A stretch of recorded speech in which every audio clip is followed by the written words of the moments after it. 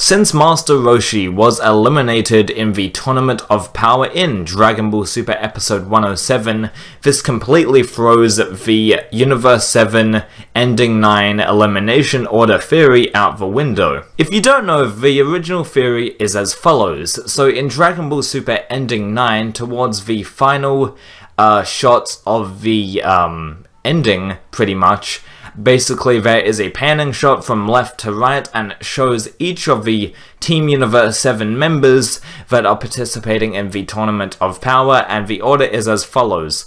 Krillin, Tenshinhan, Vegeta, and so on and so forth.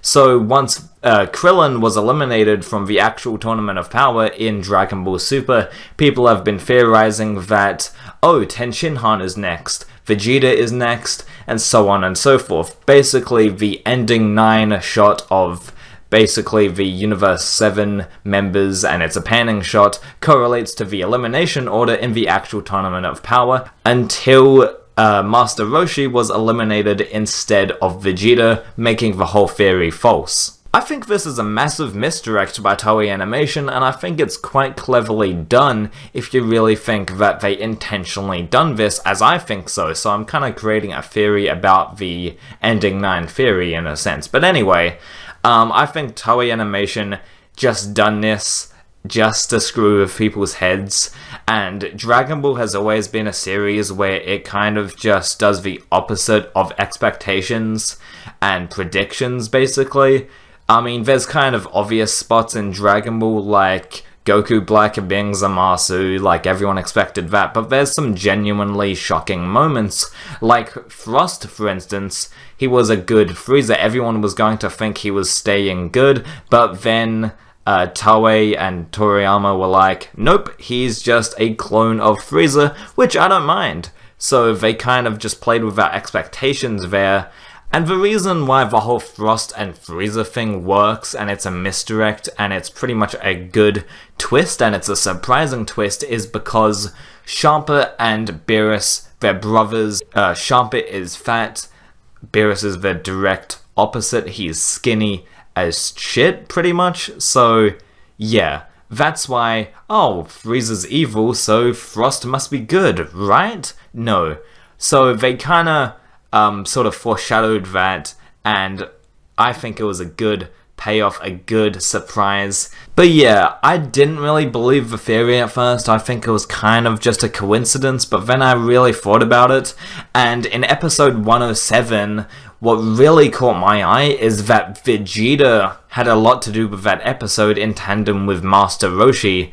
Um, well, at least in the second half, at least, Vegeta got involved, and then that's where people think, okay, Vegeta's going to get eliminated, but then it was Master Roshi, um, so that was very clever on Toei's part, and I think they just done it to screw with people's minds, as people like to theorize and discuss about, like, the endings, you know? Um, and like just sort of theorize based off of an ending, which you shouldn't really do. I mean, it can give hints, you know, the opening and endings can give hints, but it's it'll never give like a major plot point away. At least I don't think so. And uh, like Toei, if they wanted to give a um a plot detail away, they would do it in a magazine first. Um, before they would put it in an opening, you know? So, yeah, great misdirect, intentional or not, it really got people sort of um, talking.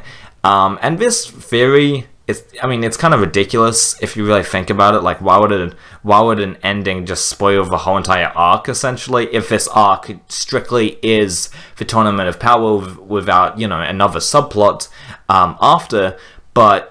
Yeah, you, you know what I mean. Like, why would they just spoil like a big chunk of the arc um, you know, there's got to be some sort of misdirect, and there was, because Master Roshi was eliminated, and Vegeta is just fine, and it also doesn't make sense because, yeah, like, Vegeta is, like, one of the strongest players, so why would they just eliminate him early on, I guess, to add tension, but still, they wouldn't spoil it in the ending, and I think Toei, um, was just very clever, again, intentional or not, I have no idea, but still very clever. I think this um, misdirect is actually more clever than the theory itself, to be honest. I just thought it was brilliant. But anyway, guys, that's going to do it for me. That's pretty much it. Please rate, comment, and subscribe. See you later.